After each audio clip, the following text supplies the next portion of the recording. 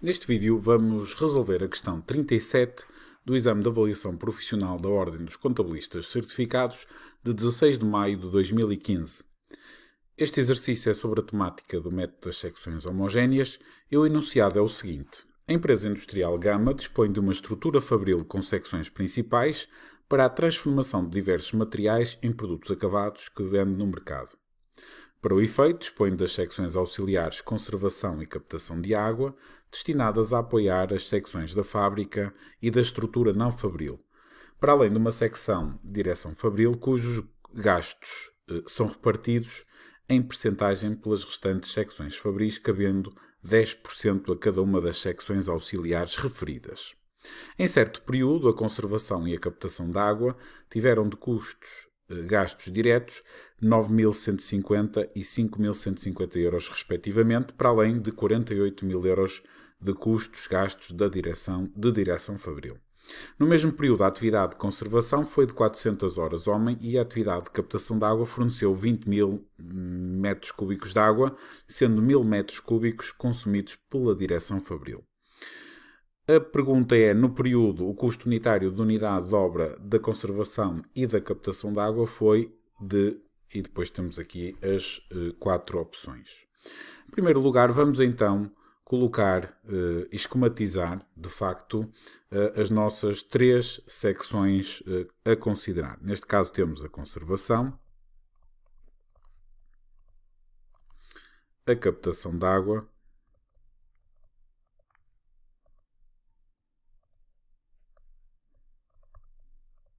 e a direção fabril.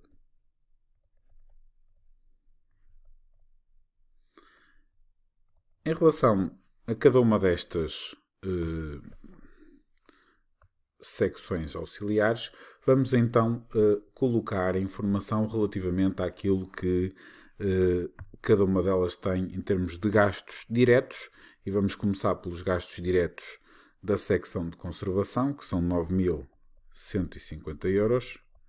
Na captação de água temos 5.150 e na direção fabril 48 mil euros.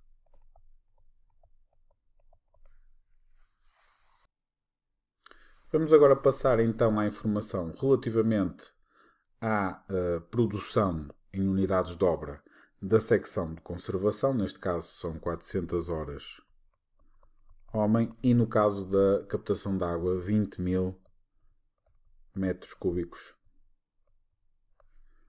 de água.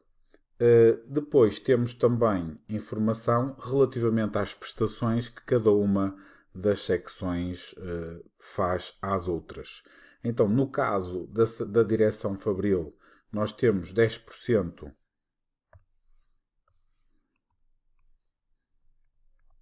para a secção de conservação e também 10% para a secção de captação de água. Temos a informação de que a, a secção de captação de água, em relação à direção fabril, presta 1000 uh, eh, metros cúbicos.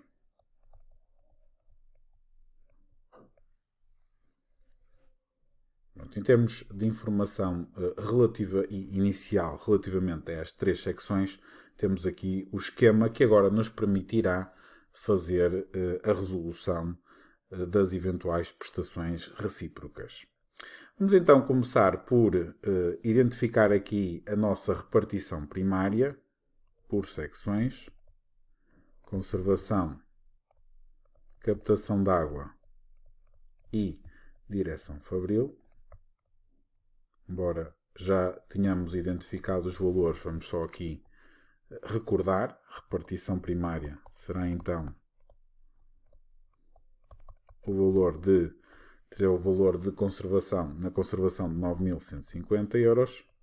No caso da captação de água, 5.150 e no caso da direção fabril, 48.000 euros.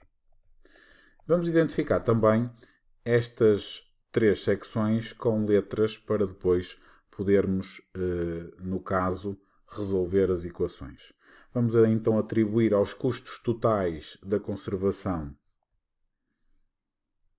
o x, os custos totais da captação de água, o Y, e os custos totais da direção Fabril, Z. Com base nesta informação, vamos então, eh, podemos então eh, determinar e elaborar as equações correspondentes. Começamos então por x. x, o total de custos de conservação, é igual então a 9.150 euros, que são resultantes da repartição primária, mais 10% daquilo que vem da direção fabril, ou seja, 0,1 de Z. Relativamente ao Y, temos informação então de 5.150, que são resultantes da repartição primária, mais 0,1 de Z também, da direção fabril. E relativamente à direção fabril, os custos são os 48 mil, mais, e neste caso nós temos uma prestação da captação de água, dos 20 mil metros cúbicos, mil são prestados à direção fabril. Então, em termos percentuais, nós vamos fazer aqui a proporção 1000 sobre 20 mil. Neste caso, de y, exatamente. E temos aqui as equações principais eh, determinadas. Vamos então concentrar a no nossa atenção na resolução das duas eh, equações de baixo e vamos em, eh, colocar numa forma que permita a resolução pelo método da anulação. Ou seja, y menos 0,1z igual a 5150. No caso de baixo temos, se fizermos as contas 1000 sobre 20.000 vai dar 0,05. Neste caso passamos para o lado esquerdo, fica 0 menos 0,05 de y mais Z igual a 48 mil. Para podermos usar o método de anulação, vamos multiplicar então a equação, todos os membros, eh, todos os elementos da equação de cima por 0,05 e obtemos então, neste caso, 0,05y menos 0,05 005 de Z igual a 257,5. Mantemos a equação de baixo, menos 0,05 de Y mais Z igual a 48.000. Então, fazendo o método de anulação, somando o valor, temos 0,995 Z igual a 48.000 257,5. Isto permite-nos determinar um Z de 48.500 euros. Ora, tendo esta informação relativamente ao Z, podemos então determinar o Y e o X. Neste caso, o X será igual a 9.150 mais 0,1 vezes os 48.500 ou seja, temos um valor de 14 mil euros. Relativamente ao Y, na mesma lógica, 5.150 mais 0,1 de 48.500, o que dá um valor de 10 mil euros. O próprio Z, os custos totais da direção Fabril, têm um valor de 48.500, conforme já tínhamos calculado. Sendo assim, podemos então determinar o custo unitário das secções que nos uh, uh, são pedidas no, uh, no, no, exercício, neste caso o custo unitário da conservação,